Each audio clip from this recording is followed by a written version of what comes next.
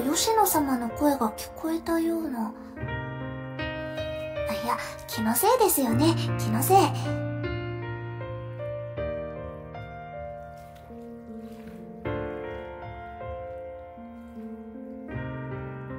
わ、私のオナニーに気づかれていたことに。そんな、ま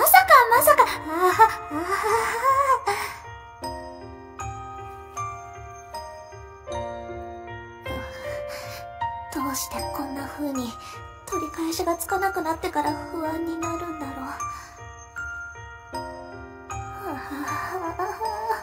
オナニーなんてするんじゃなかった、オナニーなんてするんじゃなかった、オナニーなんてするんじゃなかっ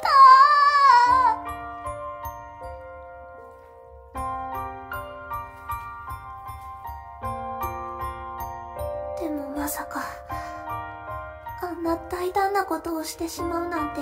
自分でも驚き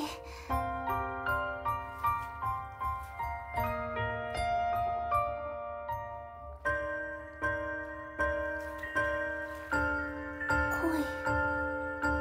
初恋。私は今恋をしてるんだ。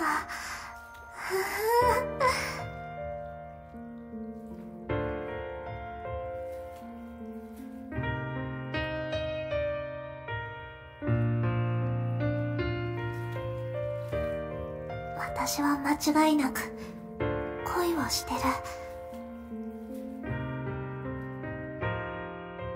もしこれでダメだとしたらどうすれば満足するんでしょう？